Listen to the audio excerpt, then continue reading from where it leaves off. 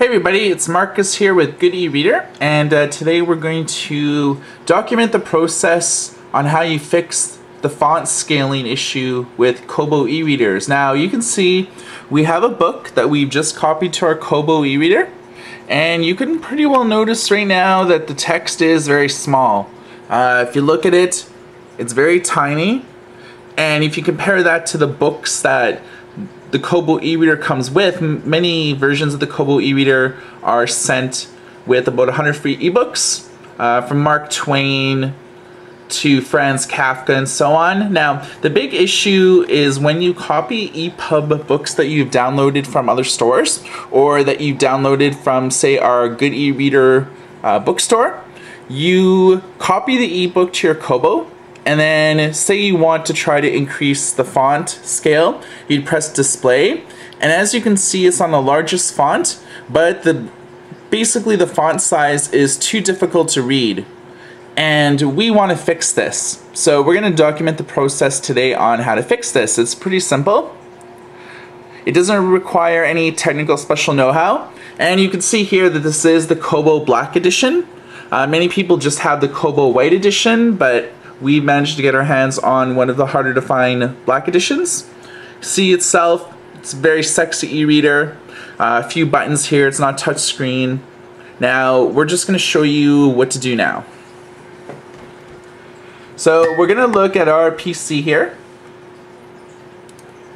And what you want to do is go to our forum. You can see the address there in the search bar goodereader.com slash forum. And to download the attachment, you will have to register a new account. It's very simple, takes about a few minutes.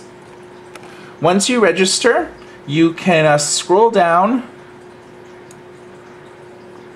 our forum until you see the Kobo e-reader forum. What we're going to do is we're simply going to click on there. And there's a post at the top that's stickied. So it says the Kobo EPUB Fixer for font size problems. We give you a step-by-step -step tutorial on uh, what to do, but we're going to video tutorial this just so that there's no questions or anything like that. Um, you can see at the bottom here that is an attached file. It's called Kobo Bulk Fixer.zip. If you don't know what a zip file is, we suggest Googling it on your favorite internet browser, such as Google Chrome, Mozilla Firefox, Internet Explorer, and others. So if you don't have uh, a zip program on your computer, we suggest you download a program called WinZip, W-I-N-Z-I-P and you can install this. It's a free download. Once you've installed WinZip on your computer, it'll allow you to extract the content with this. So what you want to do is you want to click on this to download it, and it will get sent to your desktop. You can see that we've already downloaded it. A little icon appear there is Kobo Bulk Fixer. So what you're simply going to do is double click that and it will create a directory here called Kobo Bulk Fixer.zip. Alright? Now, before we operate the program that's there, what we want to do is we want to create a directory in our computer called ebooks. So what you want to do is you want to simply right click, create a new folder. You can see we've already done it and it's called ebooks. What you want to do is copy, say a few EPUBs books into there. So for tutorial's sake, we're going to copy a few books we have on our desktop to this folder. We've clicked paste. So you can see there that we have two ebooks there that are ready to be converted. Now these books on their own, when you would copy them to the Kobo e-reader, would look like how we showed you at the very beginning where the font size is basically so small it is unreadable. Now we're going to fix this so the font size is very readable. So we have a directory that we made again on our desktop called ebooks. We've copied two different EPUB books into this directory and we're just going to close this for now. And now we're going to down we're going to open the directory that says Kobo Bulk Fixer.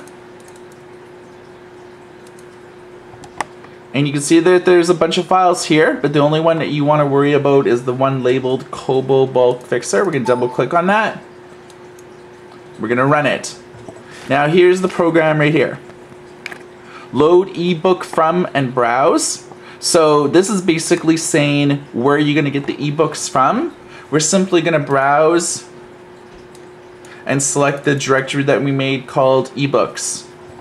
And you can see that there's the directory on our desktop called ebooks. We're simply going to click on that directory and you look at the bottom eh, here and it'll say OK.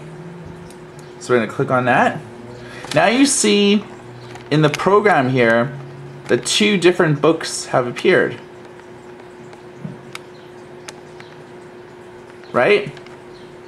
Now what we're going to do is an option has appeared here at the bottom called Start and we're just gonna hit this. There is um, an options menu here, but for first time users, you don't really have to worry about that.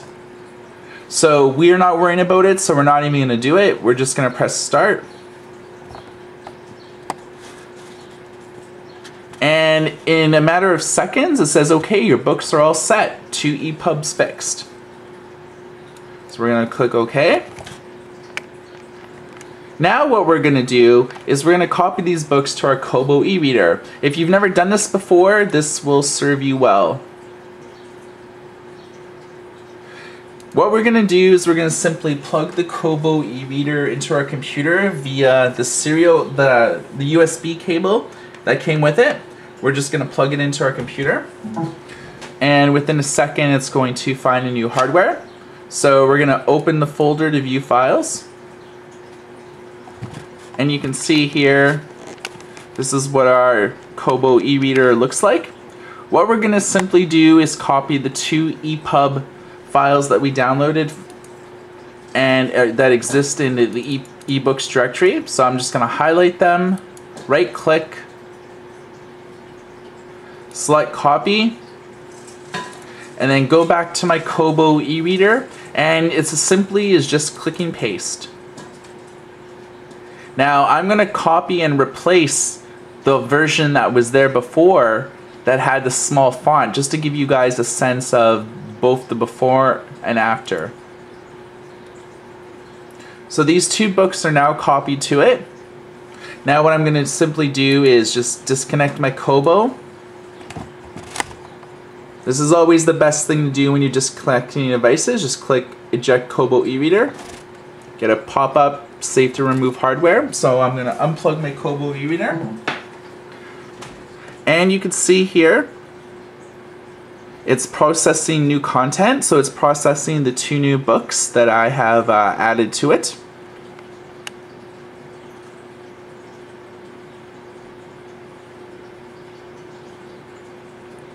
So it's just taken a little while.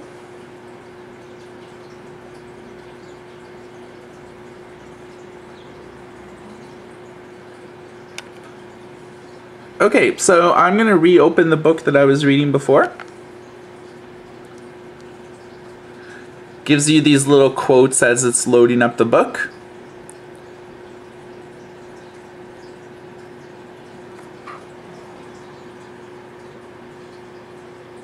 Now you can see here that the text has greatly enhanced in size. Now suddenly when there was so much text on the page before, now it's actually readable, like say a Kindle e-reader, a Barnes & Noble Nook, and otherwise. So we've hoped that you've enjoyed this tutorial. If you have any questions on this video or any of the facets that are involved in the process of getting this to work, simply register an account on our forum and let us know. We have an extensive Kobo e-reader section with all of discussions our users make as well as guides and tutorials. So you can simply contribute your two cents. If this works for you, great, we'd love to hear from you. And uh, make sure that you keep on checking back our blog at goodereader.com slash blog for all the latest news on electronic readers, tablet, and slate PCs. For Good eReader, this is Marcus, and everybody take care.